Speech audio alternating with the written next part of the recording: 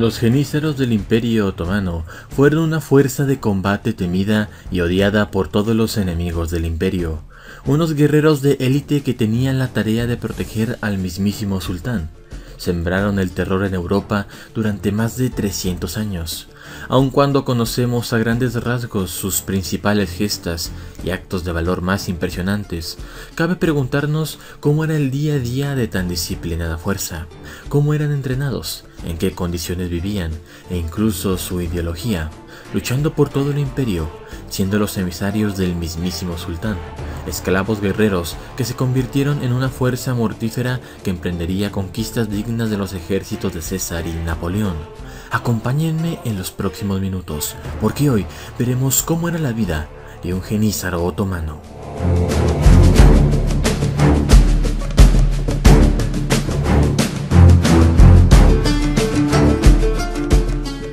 Los orígenes de los genízaros nos remontan a los inicios de la expansión de los turcos otomanos, cuando estos comenzaron a presionar cada vez más a los ya exhaustos territorios del imperio bizantino.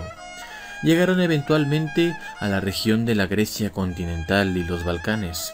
La organización tribal de esta etnia turco-otomana les daba gran potencia a sus ejércitos de conquista más inspirándose en el sistema de los soldados mamelucos en Egipto, surgió la necesidad de poseer unidades de soldados fieles y devotas, en las cuales el sultán pudiera confiar al 100%.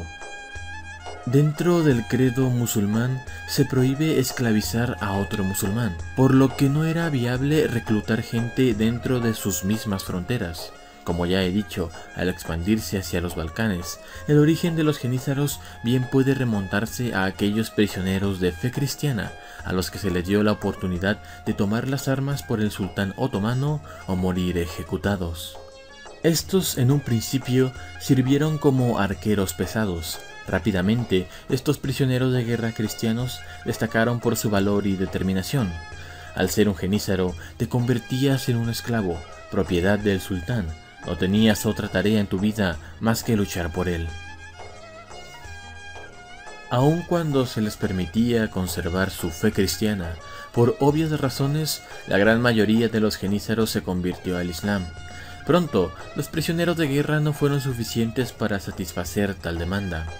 El sultán Murad I estableció un impuesto llamado Defshirme a toda familia cristiana bajo su dominio el cual era proporcionar uno de sus propios hijos para el servicio del sultán, varón de estatura media y de buen parecer, en una edad entre los 7 y los 17 años, siempre que no fuera hijo único. Al ser un genízaro reclutado, primero se debía aprender un oficio durante algunos años. No todos los reclutas se dirigían directamente a los cuarteles para entrenarse militarmente, sino que aquellos que eran destacados en talentos especiales se les destinaba a centros de estudio, fabricación de artillería e incluso unidades de caballería pesada. Muchos genízaros con el tiempo escalaron en los puestos de poder y se convirtieron en consejeros muy cercanos al sultán. Aquellos que permanecían en la vida militar recibían un periodo intenso de entrenamiento que constaba de seis años, en los cuales aprenderían el correcto manejo de la esgrima y la cimitarra turca, también aprendían el arte del disparo con arcabuz y en las épocas tardías con el mosquete. La cadencia de tiro que tenían estas unidades en batalla era sencillamente envidiable. La vida en el cuartel militar de los genízaros puede ser descrita incluso como una similar a las órdenes de caballería sagradas cristianas. Al ser un esclavo del sultán y un leal servidor del Estado, se les tenía prohibidos placeres como la bebida y casarse. La edad de retiro de un genízaro era en un promedio de los 45 a los 50 años. Todas sus posesiones y propiedades que llegaran a adquirir en vida al morir pasarían a la directa posesión del sultán. Este era un sistema por el cual se les pudiera mantener bajo control. Aunque estas medidas con el tiempo fueron relajándose en su época durada, el único objetivo de la vida de un genízaro era ser una máquina de matar al servicio del sultán. El número de genízaros pudo llegar a ser bastante variado. Hablamos desde los 100 integrantes hasta la gigantesca cantidad de 200.000. Poseían una división llamada Horta, en las cuales se organizaban como mini ejércitos independientes. Se podría afirmar incluso que la Guardia de los Genízaros era un ejército autónomo de todas las demás unidades del Imperio Turco Otomano. Eran hombres entrenados para ser autosuficientes, capaces de luchar y llevar a cabo tareas verdaderamente complejas. La educación de los genízaros no se limitaba a la instrucción militar, sino que también se les enseñaba a leer y a escribir, a desempeñar tareas incluso de contabilidad y el uso de idiomas para sus incursiones en territorios bajo la jurisdicción del Imperio Turco Otomano. Si algo caracteriza a las unidades de genízaros era su exquisito gusto por la vestimenta y el uniforme, los cuales consistirían básicamente en un rojo intenso y en un azul marino. Su ropa pareciera incluso un atuendo de gala. Solo los altos mandos se les permitiría conservar su barba como señal de respeto y autoridad. Los genízaros comunes solo se les permitía tener bigote o como lo preferían algunos, un rasurado perfecto. Al ser separado tan chicos de sus familias, el cuerpo de los genízaros se convertía en la familia de los soldados.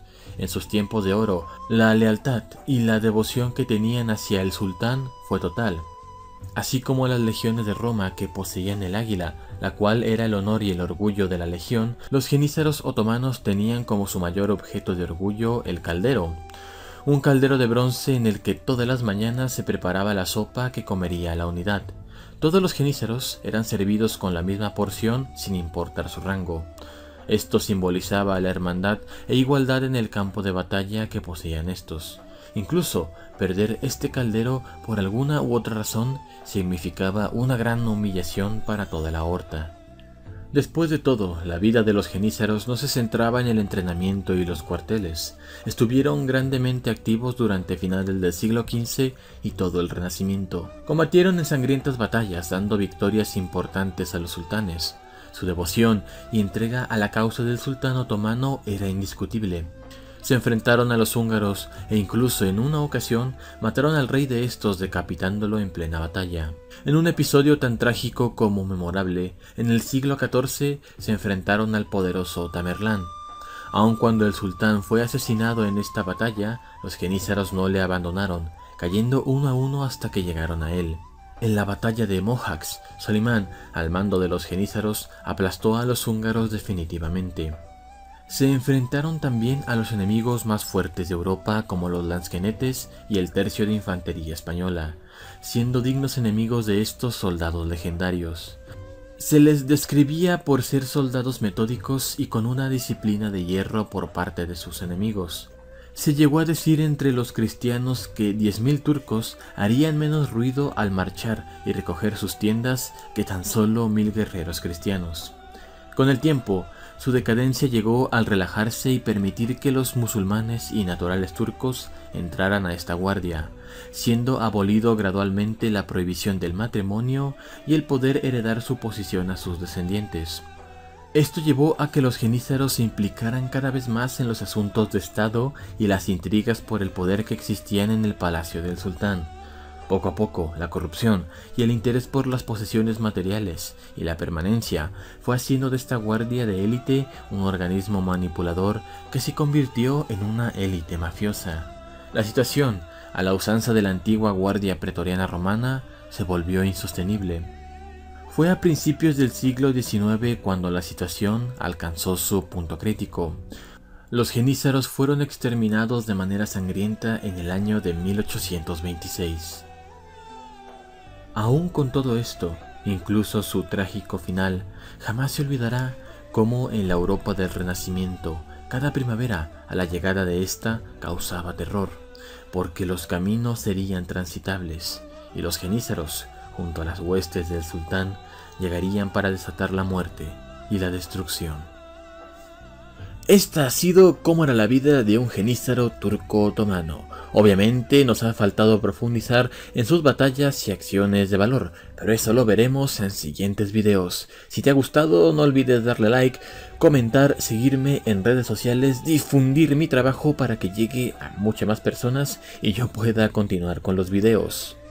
También puedes sugerir qué temas te gustaría ver en los siguientes videos. Yo soy Kus Channel, te deseo un excelente día y nos vemos en un próximo video.